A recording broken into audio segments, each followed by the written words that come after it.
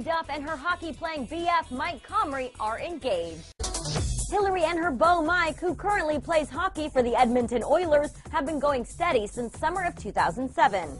Now, a source close to the actress tells E! that smooth skating Mike proposed to Hilary while the couple were vacationing in Maui this week. No word yet on when 22-year-old Hilary and 29-year-old Mike plan to tie the knot. Congratulations to the happy couple. Back in 08, Hilary was already gushing about Mike, telling E! quote, he's amazing and I can't see myself being with anybody else. Thanks.